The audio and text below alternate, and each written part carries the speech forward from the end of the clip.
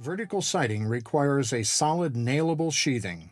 If this is not available or the surface requires leveling, attach furring strips horizontally every 12 inches.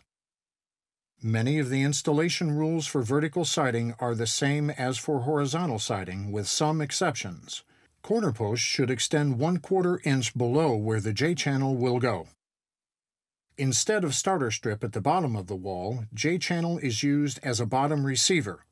It should be installed in the same way as a horizontal starter strip, except you should drill 3 16ths of an inch weep holes through the bottom of the J-channel no more than every 24 inches. J-channel is required on all sides of windows and at the tops of walls. To determine the number of panels needed for the wall, divide the width of the wall by the width of the vertical panel to be used.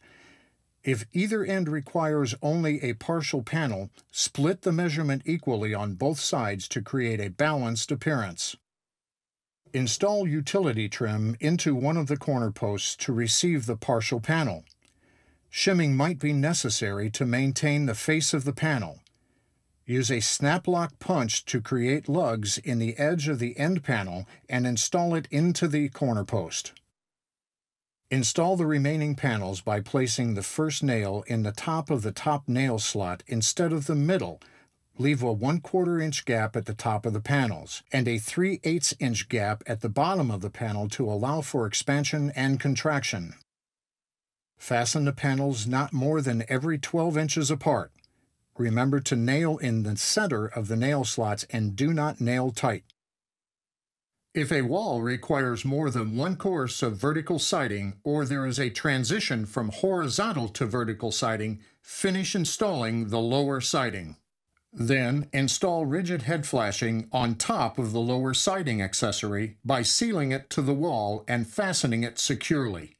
Rigid head flashing can be purchased or field formed from Trimcoil. A piece of J-channel must be used as the bottom receiver for the second course of vertical siding. Drill 3 16ths of an inch weep holes every 24 inches. Install the J-channel at least 1 8th of an inch above the rigid head flashing to allow for water drainage. For gable ends, you can use the balanced method described earlier or you can start at the center of the gable with back-to-back J-channel or a transitional channel. The method for determining the angle to cut the vertical siding in the gable end is the same method that was used for horizontal siding.